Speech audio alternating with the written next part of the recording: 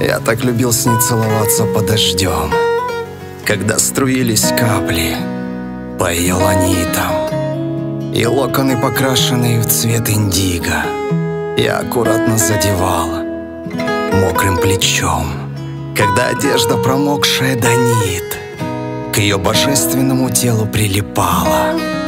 Сердце мое, как в барабан, стучало, И в легких с воздухом был дефицит. Когда на шее от ее горячих губ Дождь так мгновенно испарялся. Я вновь как первый раз влюблялся В глаза. Цвета прозрачный изумруд. С тех пор больше не пользуюсь зонтом. Она об этом вряд ли уж узнает. Запах озона мне теперь напоминает Как я любил с ней целоваться под дождем